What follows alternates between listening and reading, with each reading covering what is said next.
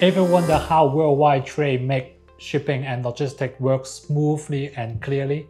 Today we are going to learn about Incoterms, focusing on one important term, FCA or free carriers. This key term is at the center of international logistics and explain who is responsible for what in the shipping process. In our exploration, we are accompanied by the expertise of Sino Shipping, a distinguished Chinese freight forwarders. Their deep knowledge and experience in the field make them an ideal guide through the intricacy of FCA. With Sino Shipping, we will navigate the lunacy of this viral Incoterms, learning how it shapes the dynamicy of shipping and trade. Join us as we will unravel the significance of FCA in the global trade, enumerating the roles and responsibility it establishes for buyers and sellers. From bustling Chinese port to international business hubs, understand how FCA facilitates trade across border, fostering efficient and reliability in the world of international commerce. Let's go! Free carrier, commonly known as FCA, is a important term in the world of Incoterms. But what exactly does it entail? And the FCA, the seller's responsibility is to deliver the goods clear for export to a named place, usually via premises of or a special transport hub. Once the goods are handed over to the carrier selected by the buyers, the risk transfer from the seller to buyers. This setup makes FCA applicable for all modes of transport, making it a preferred choice in various shipping scenarios. The root of FCA can be tracked back to when global trade began to demand more flexible shipping arrangement. Over time, as trade evolved, FCA adopt addressing the need of modern international commerce and logistics. It's a reflection of dynamic nature of global trade, offering a balance that wasn't quite met by other Incoterms like FOB or ex-work. But why? Why FCA is so important in freight forwarding is because FCA strike a unique balance in the allocation of cost and risk. This balance makes it an attractive option for both buyer and seller, providing clarity and predictability in international transactions. The terms has become a fundamental component in structuring deals and logistics strategy, ensuring that the global trade operates smoothly and efficiently. Cool. In an FCA free carrier agreement, the division of responsibilities between the seller and the buyers is, is distinct and significant. For the seller, the primary obligation is to deliver the goods to the predetermined location, which could be their premise, a port, or another agreed upon place. This process includes the preparation of goods for transport and completion of necessary export documentation. Once the goods are handled, handed over to the carrier chosen by the buyers, the seller responsibility ends and make a clear boundary in the transactions. On the buyer's side, the responsibilities commence when they or the chosen carrier receive the goods. From this point, the buyers assume all risks and costs associated with transporting the goods to their final destination. This includes handling all the import duties, taxes, and other expenses incurring during transit. The buyer engagement is crucial in coordinating the onward journey of the goods, ensuring their safe and timely arrival. For seller, FCA offers several advantages. It provides a clear cutoff point for their responsibility, reducing the risk and un of unexpected costs post-shipment. This clarity is especially beneficial for sellers who may not have the resources to manage logistics in the buyer's countries. Additionally, FCA allows seller to have control over the first part of the shipping process, ensuring that the goods proper prepare and handle off. On the other hand, FCA can be highly advantageous for buyer as well. It offers them a flexibility to choose their carriers and negotiate shipping terms directly, potentially reducing costs.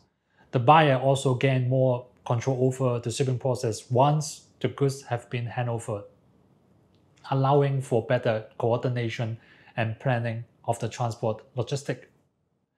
In summary, FCA presents a balanced framework for international trade, clearly indicate responsibilities and allowing both seller and buyers to manage risk and cost effectively. Wait!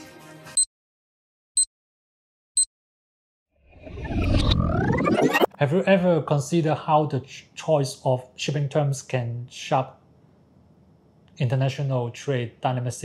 Let's delve into FCA free carrier and its unique position among other Incoterms like CIF and Ex-Works EXW. Unlike CIF, where the seller bears the cost and the risk until the destination port, or EXW, which impose minimal obligation on the seller. FCA provides a middle ground, transferring risk from the seller to the buyers once the goods are handed over to the first carrier. To initiate, picture a manufacturer in German shipping machinery to Canada. Under FCA, their responsibility ends when the machinery is handed over to the Canadian buyers carriers in Hamburg. This scenario differs significant from CIF, where the German manufacturer could handle transport to Canada, or EXW, where the Canadian buyer would manage the entire process from Germany. However, navigating FCA is not without its challenge. What? Miscommunication about the handover point can lead to dispute and logistic hiccup. Plus, the seller responsibility for export clearance under FCA often requires careful coordination, especially in countries with strict custom regulation. The global legislative landscape also profound influence FCA agreement. Different countries' customs and trade regulation can impact how FCA is implemented, making it essential for traders to be well informed about this aspect. Selecting the right Incoterms is a strategic decision, influencing cost, control, and risk management in logistics. The choice of FCA, for instance, requires balance this factor effectively. When we zoom into the Chinese market, FCA reference becomes even more prolonged. With Chinese extensive export economy, FCA offer both opportunities and complexities. Understanding local practice, regulative environment, and logistic nuances is crucial for successful FCA transition in and out of China. In summary, FCA stands as a crucial component in international trade. Its comparison with other Incoterms, practically application, inherent risks, regulatory impacts, and strategic importance, especially in the Chinese context, are essential considering for any international trade professional. As we conclude our exploration of FCA free carriers, let's revisit the key insights about these viral Incoterms.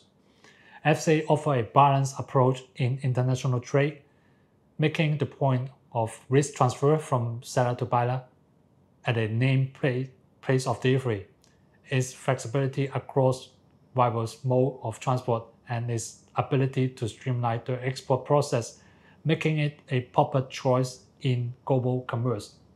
Okay. Sino Shipping, with its extensive experience in freight forwarder, advise careful consideration using FCA. It's crucial to clearly define the handover point and understand the representative obligation for export clearance. We recommended meticulous planning and open communication between all parties involved to ensure a smooth and efficient transactions. For those who navigate the complexity of international shipping, particularly under FCA terms, Sino Shipping extend our expertise and support. Whether you are a seasonal trader or new to the field, our team can provide tailored solution and guidance to meet your shipping needs. We invite you to reach out to Sino Shipping for further information or assistance with FCA Incoterms. Our knowledge and experience in the field can be invaluable in enhancing your trade operations, ensuring that your goods move across border seamlessly and efficiently. Follow Sino, we are your shipping pro.